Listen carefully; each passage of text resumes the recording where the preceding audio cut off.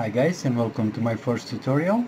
This is a tutorial I made on a request by Flo on a, on a Romanian uh, modeling site regarding the uh, Badger masking film and the way I'm uh, using it. So uh, I have to explain a little bit the process. So this is the Badger film. I'm going to uh, show it to you uh, in more detail just in a few seconds. I use this in conjunction with my portrait silhouette cutter. It's just a plotter. So the simplest one, the cheapest one, I just buy it from Amazon. I can't remember exactly how much I paid, but I think it was around $70 marks. I bought it like two years and a half ago for other purposes, but eventually uh, by uh, trial and error, I reached to my uh, method of doing uh, custom marks. Now the second uh, thing I want to introduce to you is this uh, Badger film my uh, problem here, as I explained to uh, Flo, is that the film is very thin and transparent and perhaps you're not going to see too much of what I'm doing. That's why I'm going to explain to you. So the Badger film, uh, this is the, the glossy version, there is a matte version as well.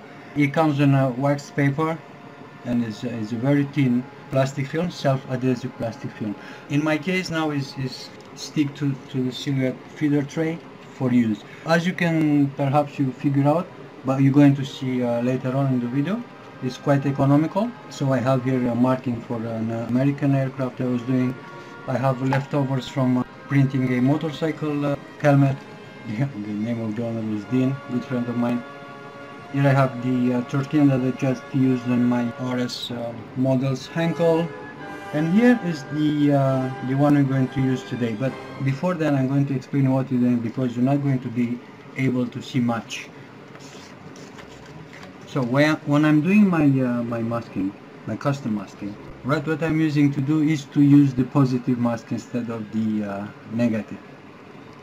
Right so I cut I designed my graphics. In, in, in this case is uh, Flo's name because he was the one to request the tutorial and also I cut a square or round depends on, on, on uh, what the general shape of the graphic is. Why I'm doing that? For two reasons. Either I can use the negative mask, so I just uh, remove the, the lead, but then I'm going to have uh, uh difficulties on centering the, uh, the O cutout, right? My method is to remove completely this side from the side and the cut, the, the cut out, right? So I'm going to have only the actual graphic left. Then I'm going to use some transfer tape, like Tamiya tape. Now the adhesive of the transfer uh, tape is stronger than the adhesive on the back of the uh, Badger film. So I'm going to lift the graphic together. Like this, they're not going to change position, right? They, they, they're going to keep alignment and I'm going to apply together on the object I want to apply the mask. I hope uh, this I made it uh, clear. Okay, you're going to see on the, following moments what I'm talking about. So for this little experiment, I'm going to use the colors that I uh, brewed myself for the Russian tank I'm working on. It's a T-51, uh, sorry, T-54-1 model 1947. So we have here the main camo colors, Russian green, dark yellow, and the uh, dark brown that we use. So I sprayed for myself for a comparison with the uh, graphics suggested on the instruction manual. I sprayed this uh, spoon. So this we're going to use it as our test. So I'm going to apply the uh, custom mask on, on this spoon. And then I'm going to spray it with green and, and, and brown but because I love to make myself my life difficult I'm going to use some uh, Silly Putty as well just to uh, as I say just to make things even more complicated.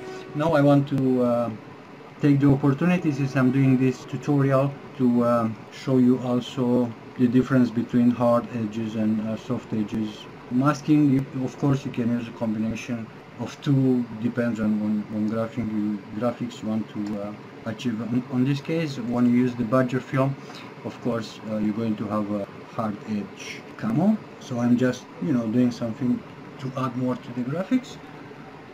Now we're going to proceed and do what I was explaining to you just before. I'm going to use this cotton swab as a uh, burnisher. Oh, I have to say that I choose wrongly the, the font. This Cloister Black font has some sharp edges that the, uh, the cutter, the, the plotter doesn't pick it well, but it's going to be okay for our demonstration only. So, as I say, I'm going to remove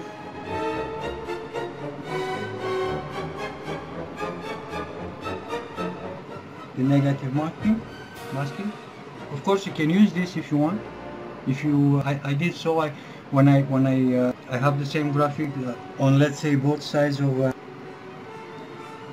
of a model you can use the positive and the negative at the same time. Each one from, uh, from the side if you want to save more film. Let's hope you can see that. If not you have to take my word for it. So now in the, in, in the center of my square I have left only my camera is not going to focus on that that I was afraid of.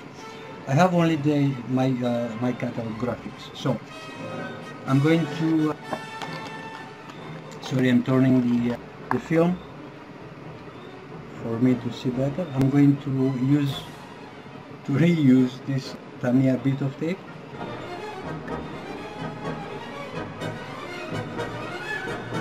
Going to try to align the edges. So my uh, graphic is going to be on a straight position. And now when, when I'm removing the film normally it should come with the uh, lettering attached to the back. I'm giving a little bit help here. Yes? Okay. So now on the transfer tape again not sure you can see that we have the small graphic we just designed for Flo let's take our uh, dark.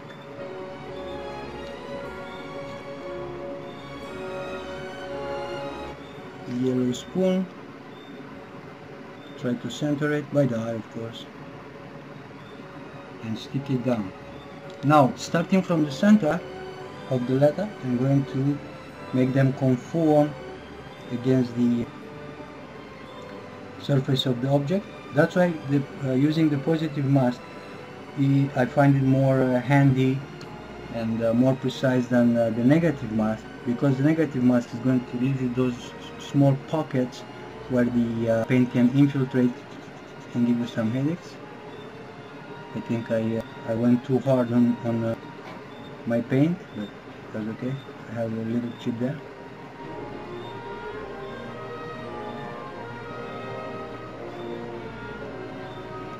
now I don't see air at all under my uh, letters anymore under my graphic. And now we're going to remove the transfer tape.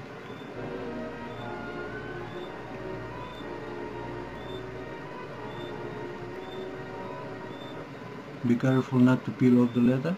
Sometimes it happens but most of the time it doesn't. Alright. And let pass the one more time the burnisher our, our straw on top of the letter so make sure the edges are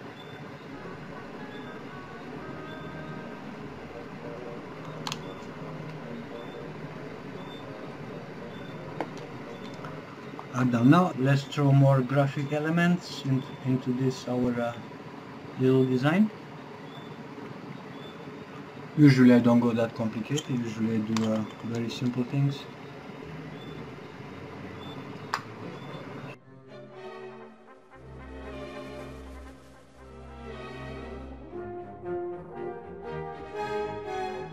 It's not important what I'm doing now and it's not related to what I'm doing. I just want to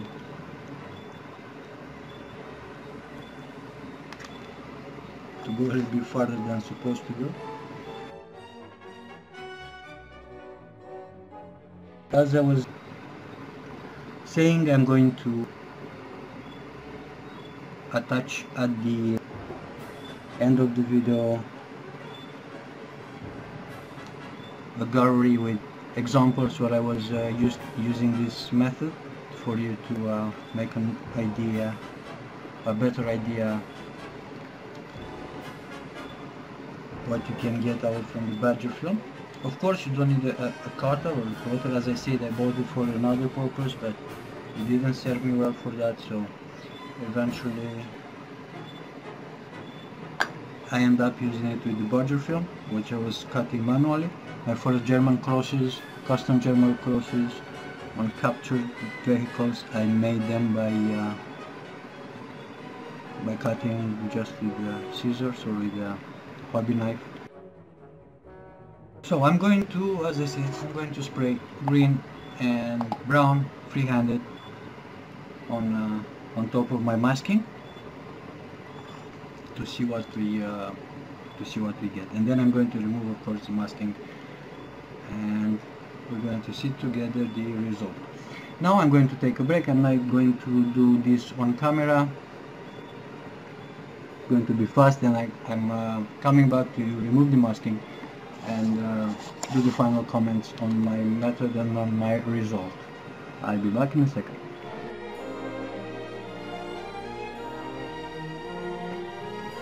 Okay guys, back from the painting room. I sprayed just uh, very thin, heavily thin uh, paint just uh, to allow to dry fast. It dried only for how long I uh, clean my airbrush and my working space, so perhaps less than 5 minutes. Let's try to undo this masking without damage to the paint.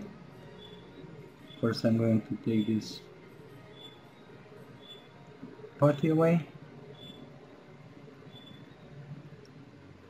Ah, my paint chip went even bigger. I hope you don't mind that.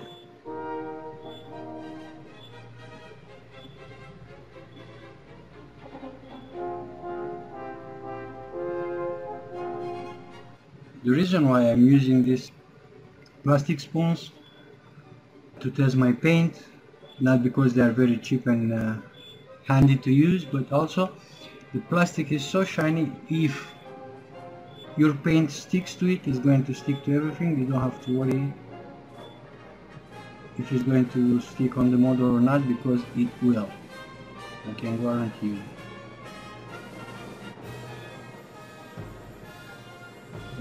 I did some more sloppy job on painting here but I'm um, I'm glad I did this test for me so I can see how the three colors, the, the camo uh, colors from my Russian tank will fit together. I was I was a little bit afraid that, that the contrast between yellow and green did not so big, but is the way that MiniArt is suggesting in the in the instructions. Uh, now I have the uh, visual proof that everything should be okay on the completed model. And now let's try to remove those. Custom marks you put here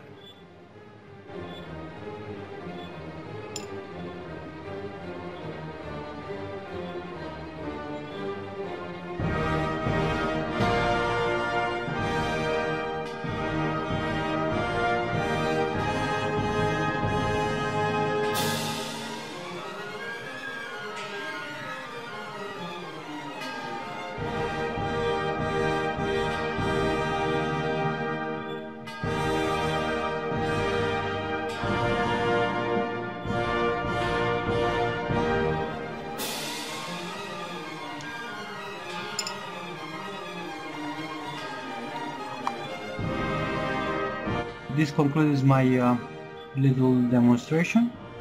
I hope Claude is answering your uh, curiosity.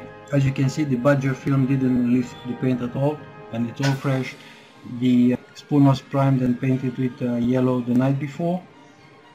Uh, so it's less than 24 hour old and the uh, green and brown was sprayed just now 5 minutes ago and is uh, still tacky so by no means is uh, dried let alone cured.